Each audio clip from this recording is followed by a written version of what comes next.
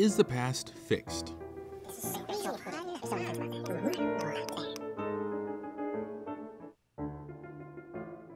You know, most people would claim that they don't believe in sense perception. And by that, they simply mean that they don't believe everything they see or some other such thing. But the real question of whether you believe in sense perception is whether your experience of the universe around you is that of a human being or that of an animal. The extent to which you believe that time is composed of moments is exactly the extent to which you do believe in sense perception. The idea that there is such a thing as a completely defined moment in and of itself from which all future moments flow, sort of like dominoes, actually stems from the work of Isaac Newton and Laplace.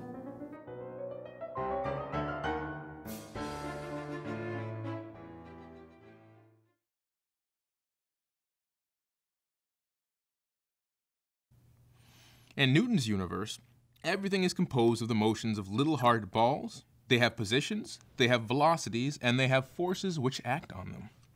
And if you know their positions, their velocities, and the forces which act on them at one moment in Newton's absolute time, then you know the forces, velocities, and the positions that constitute the next moment.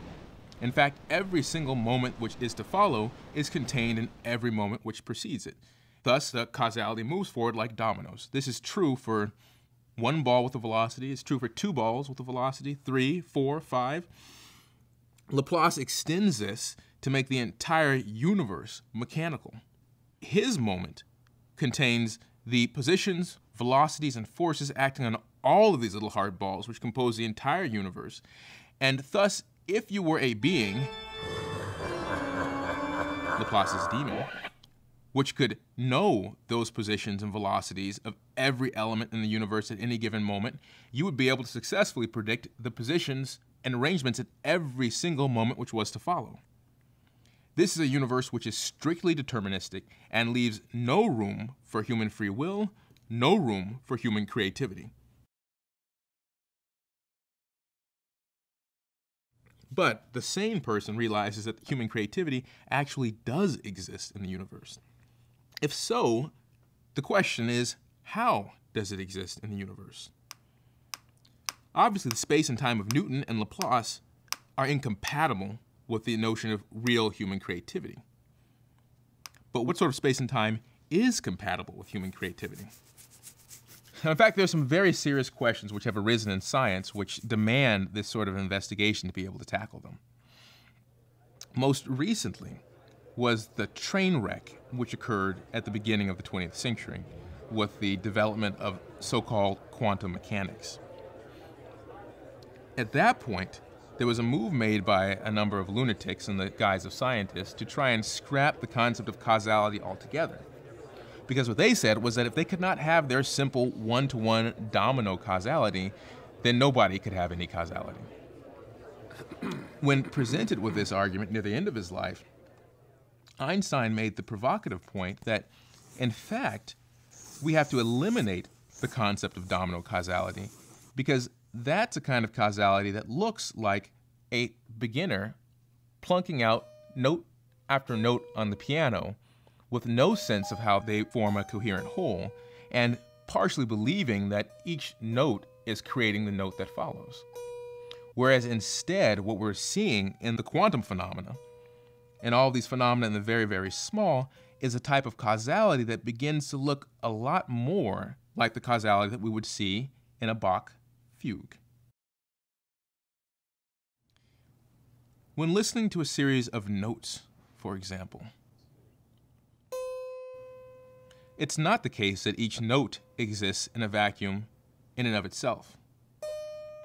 In fact, it's very hard to hear a sequence of notes and not connect them such that the note which follows has an effect on the note which precedes, changing its meaning by an action which operates seemingly backwards in time.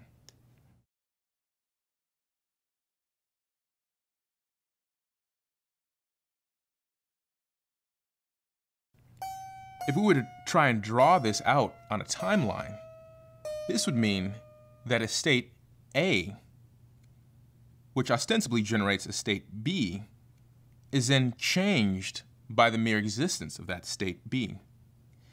At the same time, state B, descending from state A, generating a state C, is changing the preceding states B and A.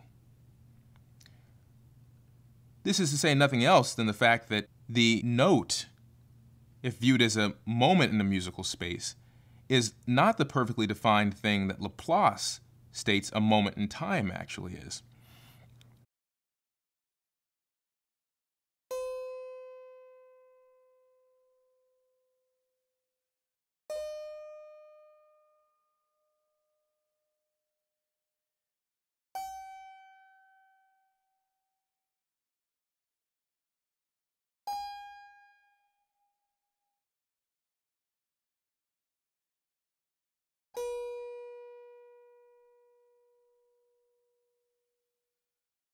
Now, your inclination is to say, well, the past doesn't change. Your idea of the past changes. But the question immediately arises is to what extent are you capable of really making that distinction?